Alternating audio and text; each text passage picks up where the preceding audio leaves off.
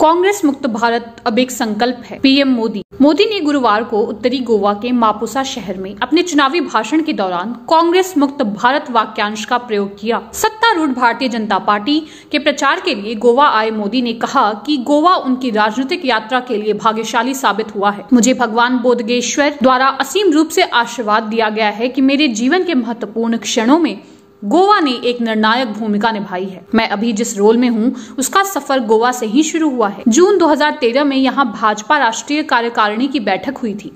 जब मैं जून 2013 में गोवा में था, तब भाजपा ने मुझे लोकसभा चुनाव के लिए चुनाव प्रचार समिति के प्रमुख के रूप में नामित किया था। मोदी ने अपने भाषण में कहा। उसके बाद मुझे प्रधानमंत्री पद के उम्मीदवार के रूप में नामित किया गया था। यह एक प्रेरणा थी जो गोवा की इस भूमि से निकली थी। पूर्व रक्षा मंत्री स्वर्गीय मनोहर पर्रिकर ने यहाँ मेरी बैठक आयोजित की इस बैठक में मैंने यह वाक्यांश अनायास ही कह दिया। नारा था कांग्रेस मुक्त भारत। यह शब्द गोवा की मिट्टी से निकला है। एक ऐसी भूमि जिसे संतों ने आशीर्वाद दिया है। यह मुहावरा अब भारत के करोड़ों लोगों के बीच एक संकल्प बन गया है। प्रधानमंत्री थोड़ी दूरी पर स्थित चुनावी रैली स्थल के रास्ते में मापुसा में भगवान बोधगेश्वर मंदिर में भी पूजा अर्चना करने गए।